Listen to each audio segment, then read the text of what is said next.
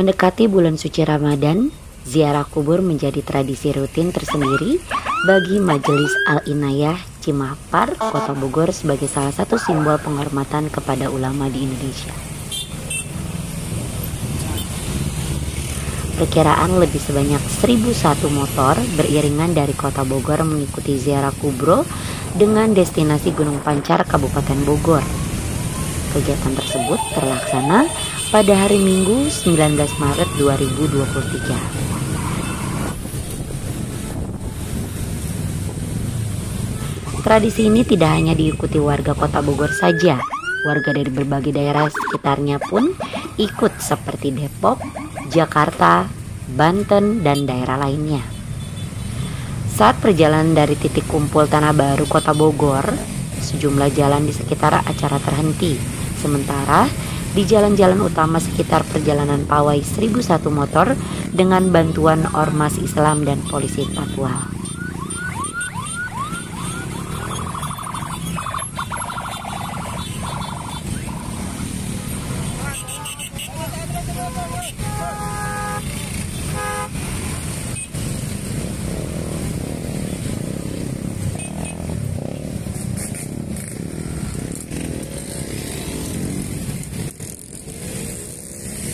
Meski ditutup beberapa saat, masyarakat sudah terbiasa karena terjadi setiap tahun menjelang Ramadan dan turut serta mendukung tetap kondusif saat adanya perjalanan pawai tersebut.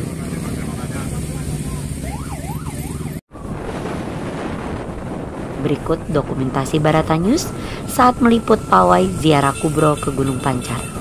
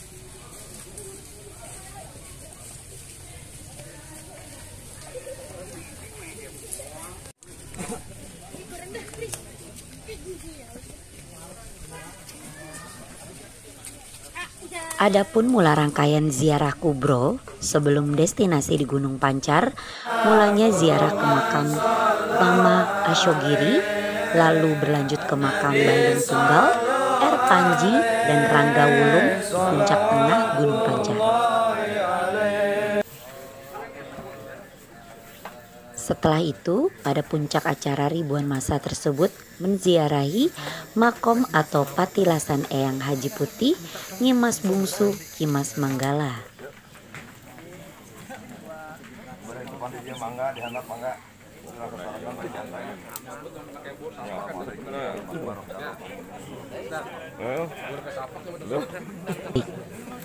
Ziarah kubro ini semata-mata menjalankan ibadah serta sunnah agar mendapatkan rahmat dari Sang Maha Esa. Sementara itu, pimpinan Majelis Al-Inayah RH Inayatullah menuturkan dengan mendoakan para alim ulama-ulamanya Allah saat hidup telah mengamalkan ilmunya dengan baik.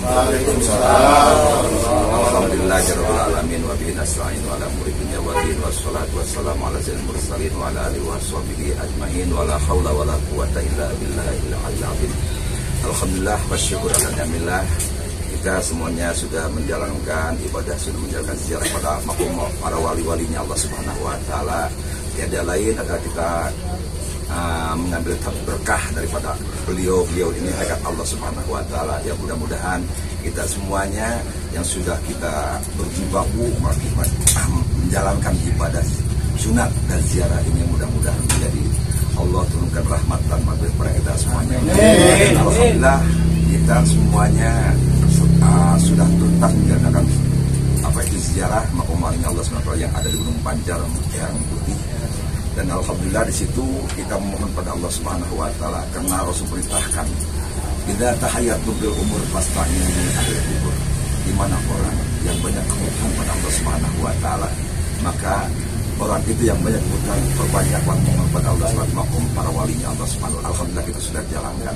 Dan Alhamdulillah kita juga sudah mendoakan para alim ulama-ulamanya Allah yang mengamalkan dengan ilmunya baik guru-guru kita yang di berada terkhusus Mama Sogiri baik yang ada atau yang tiadanya mudah-mudahan beliau teman-teman berkah teman-teman ampuh juga mudah-mudahan beliau teman-teman itu manfaat mudah-mudahan juga teman-teman rezeki yang melimpah Alhamdulillah ini sebagai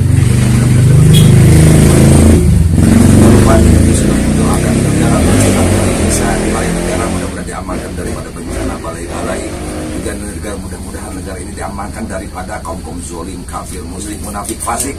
Tak lupa juga kami doakan mudah-mudahan negara diamankan dibersihkan daripada kaum wahabi syiah PKI atau semacam lainnya. Amin ya Allah terima kasih kepada seluruh sesepuh yang sudah ikut uh, bergabung ziarah dengan kami uh, dari Majelis Al-Inayah. Uh, khusus pada pengawalan juga pada ormas-ormas yang lainnya yang mudah-mudahan kita kumpul di alam dunia ini menjalankan ibadah sunnah juga mudah-mudahan kumpul juga di alam akhir nanti.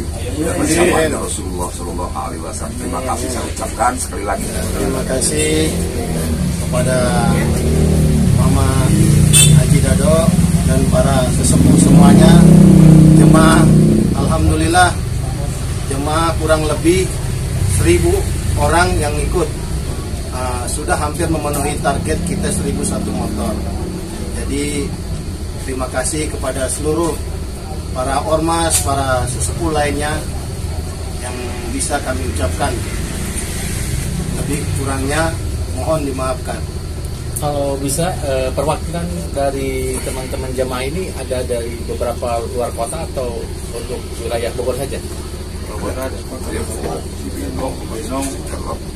Macam-macam daerah yang datang. Macam-macam daerah.